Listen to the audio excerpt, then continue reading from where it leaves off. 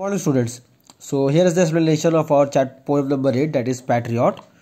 So today uh, we have live classes and in that I explained the poem but some of you did not attend. So here is the explanation of the poem The Patriot which is written by Robert Browning ये एक monologue it is a dramatic monologue dramatic monologue का मतलब here you will see that the whole poem revolves around only one character and that is the patriot it so let see that how you will come to know in the poem that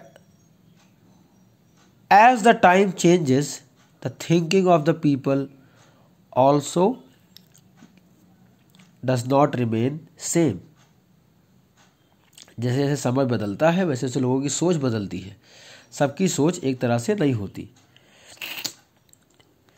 It was roses roses all the way with myrtle mixed in my path like mad the house roofs seemed to heave and sway the church spires flamed such flags they had a year ago on this very day अब यहाँ पर patriot now is telling that when I came into the town when I came into the town in the city people welcome me like mad मतलब देवर a great fan मतलब वो मेरे दीवाने थे। उन्होंने मेरा बहुत भव्य स्वागत किया था फूलों से। फूलों का जो है बौछार कर रहे थे हमारे ऊपर, रास्ते पर फेंक रहे थे और मेरा वो स्वागत कर रहे थे। जो छतें थी द हाउस रूप्स वो जिससे लग रहा था कि अभी गिर जाएँगी। इस तरह से लोग छत पर खड़े होकर के नारे लगा रहे थे, मेरा स्वागत कर रहे थे। The church spires flame such flags they had और चर्चों पर जबकि वहाँ पर क्या नाम है, वो जो फ्लैग है, उस पर लगा हुआ, वो भी जो है, हमारे तरफ़ ही इशारा कर रहा था a year ago on this very day मतलब एक साल, आज ही के दिन, एक साल पहले। The air broke into a mist with bells the old walls rocked with the crowd and cries अब, हवा के साथ साथ जो चर्च में लगे घंटे भी थे, वो भी बजने लगे मेरे स्वागत में। पुरानी दीवारें ऐसी लग रही थी जैसे that those walls which were old it was it seemed that it will fall ऐसा लग रहा था कि जैसे वो गिर जाएँगी इतने लोग उस पर बैठे हुए थे had I said good folk where noise repels but give me your son from yonder skies they had answered and afterward what else अब मैंने क्या नहीं कहा यहाँ पर पैट्रियट कह रहा है कि मैंने अपने लोगों से कहा कि क्या अच्छे लोग हैं आप लोग, क्या आप मेरे लिए मतलब ये यहाँ पर क्लास माय डियर स्टूडेंट्स आप ये देखोगे कि कैसे रॉबर्ट ब्राउनिंग ने ये दिखाना चाहा है कि पैट्रियट कह रहा है कि लोग मेरे इस तरह से फ़ैन थे, आज ही के दिन एक साल पहले, इतने फ़ैन थे कि अगर मैं कह देता कि मुझे सूरज चाहिए उस नीले आसमान से तो वो लोग they had answered and afterward what else वो लोग आंसर करते और ये कहते कि हाँ उसके अलावा बताओ तुम्हें क्या चाहिए? मतलब इस तरह से लोग मुझे सपोर्ट कर रहे थे। Alack it was I who lived at the sun alack it was I who lived at the sun to give it my loving friends to keep अब लेकिन थर्ड स्टैंडा में पैट्रियट कहता है कि वो मैं ही था जो जलते सूरज को छुआ। मतलब यहाँ पर यह है कि मैंने हर चुनौती का सामना किया। I faced all the challenges of my people I tried my best to keep them happy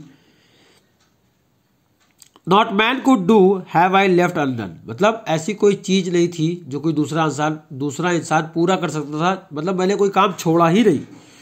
And you see my harvest what I reap this very day now a year is run कोई भी इंसान वो काम नहीं कर सकता, मैंने कुछ छोड़ा ही नहीं था। आई लेफ़्ट अनडन और and you see my harvest what I reap और मेरे कर्म के फल देखो, कि वो उल्टे हो रहे हैं। दिस वेरी डे मतलब अब ये बता रहा है पैटर्न कि अब उसका समय नेगेटिव हो गया। लोग जो उससे प्यार करते थे, वो उसको आज ही के दिन, अब एक साल बाद उसको फांसी पर चढ़ाने जा रहे हैं।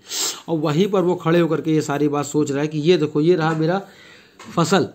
जो मैंने काटा, इन लोगों के साथ अच्छा करके। There nobody on the house top now just a palsied few at the window set for the best of the sights is all allow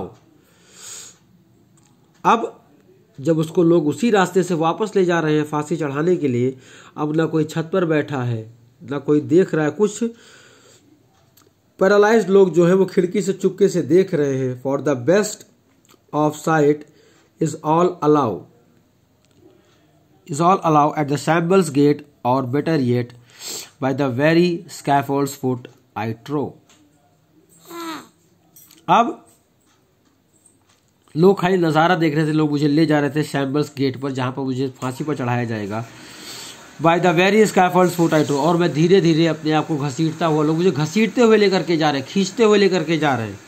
I go in the rain and more than leads a rope cuts both my wrist behind बारिश हो रही है। लोग जो है मुझे खींचते हुए लेके जा रहे हैं। मेरे दोनों हाथ की नसें जो है, जो रिस्ट है, जो कलाई है, वो मेरी नस, रस्सी के कारण कट चुकी है। And I feel and I think by the feel my forehead bleeds for they fling whoever has a mind stones at me for my years misdeeds और मुझे यह महसूस हो रहा है, जिस तरह से मेरे सर से खून बह रहा है, ये वही लोग हैं। जिनके पास भी दिमाग होगा, उनको ये दिखेगा कि ये वही लोग हैं जो मेरा स्वागत फूल से करते थे। आज यही लोग मुझे पत्थर मार मार के मेरे सर से खून गिरा रहे हैं। ये मेरे बुरे कर्मों का मुझे फल दे रहे हैं, जबकि पैट्रियट ने कोई गलत काम नहीं किया था। लेकिन मैंने स्टार्टिंग में ही आप लोग से बताया कि जैसे जैसे समय बीतता है, लोगों की मेंटेलिटी लोगों की थिंकिंग बदलती चली जाती है। दस I entered and thus I go very important paragraph और ऐसे में आया और ऐसे में चला आया, यहाँ पर चला गया।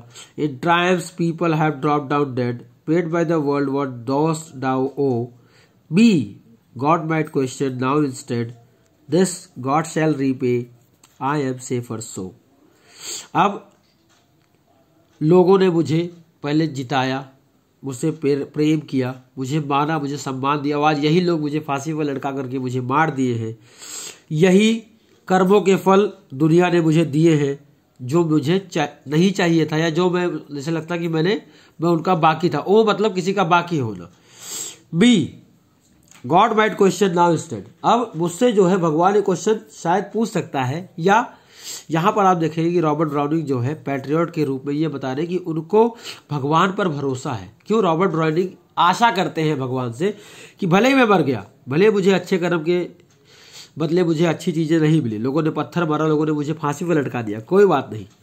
लेकिन अब मैं भगवान के पास हूँ, इन सब का, इन सब कर्मों का फल मुझे भगवान देंगे इस जन्म में नहीं तो उस जन्म में। और मैं भगवान के पास चला आया हूँ तो मैं यहाँ पर सेफ़ हूँ। I am safe so so my dear students here is the explanation of the patriot go through it and try to understand the meaning of the poem thank you students